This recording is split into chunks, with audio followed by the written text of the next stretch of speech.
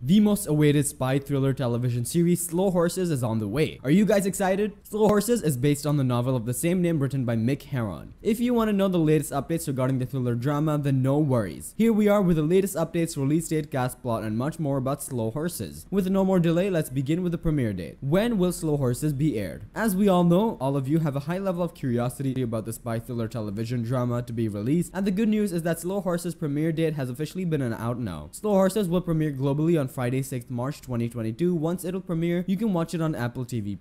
The storyline revolves around the team of British intelligence agents who made career-ending mistakes and later worked in MI5's during Dumping Ground Division, Scald Slough House. There is a Cartwright who is bitter about his failure, a young man is kidnapped, and his kidnappers threaten to behead him directly on the internet. Cartwright sees an opportunity to free himself and dives in to settle the case, but he soon realizes that there's nothing like that and everybody's pushing their own agenda. According to the plot summary, for sure this series is going to be a super hit who will return in slow horses. If talking about the cast, you will see the well-known personalities, Chris Reilly as Nick Duffy, Gary Oldman as Jackson Lamb, and Rosalind Eleazar as Louisa Guy in the lead roles. As well, we'll see Olivia Cooke as Sid Baker, Jonathan Pryce as David Cartwright, Kristin Scott Thomas as Diana Taverner, Jack Lowden as River Cartwright, and Stephen Walters as Zeppo. Hope you all liked this video. We'll update you if we get more updates regarding slow horses. Until then, stay tuned and thanks for watching.